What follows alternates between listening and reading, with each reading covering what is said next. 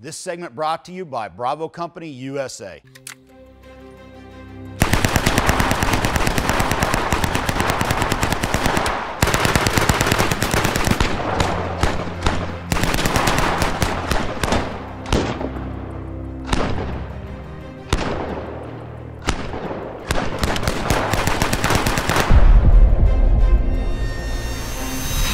Larry Vickers, Vickers Tactical Channel. Today I've got one of the most famous open bolt submachine guns in history, the Swedish K, otherwise known as the Carl Gustaf M45.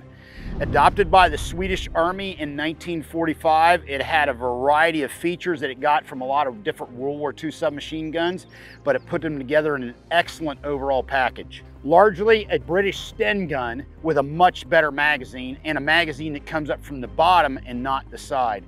36 round box magazine, dual position feed, very well designed, very well made, very reliable.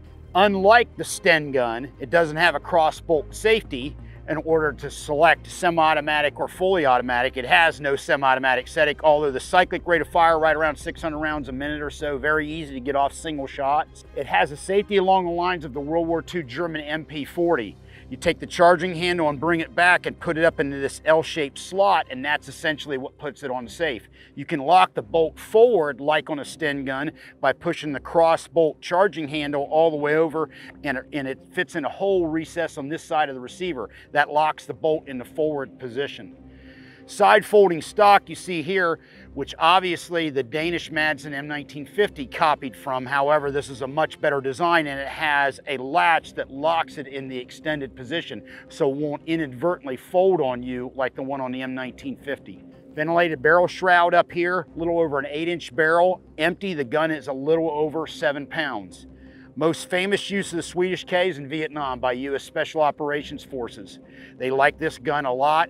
Matter of fact, when the Swedes got wind of it, they embargoed export of the Swedish K, so they went to Smith & Wesson to make essentially an American version of the Swedish K in the M76. However, that gun never really saw widespread use because by the time it came online, U.S. Special Operations had kind of went in a different direction.